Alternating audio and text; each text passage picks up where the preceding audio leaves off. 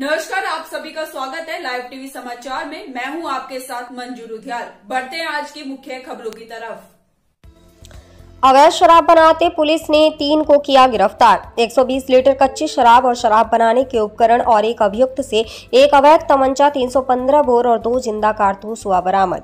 ज़िले के माधोगंज थाना क्षेत्र के ग्राम पंचायत दौलतयारपुर मजरा कंजडनपुरवा में पुलिस ने छापेमारी कर अवैध शराब बना रहे तीन लोगों को पकड़ लिया। पकड़े गए शराब कारोबारी में क्षेत्र के ग्राम नेवादा गभी निवासी दीपक उर्फ़ हुल्ली कंजड़नपुरवा छह निवासी मिश्रीलाल और सांडी कस्बे के मोहल्ला नवाबगंज निवासी अशोक शामिल है।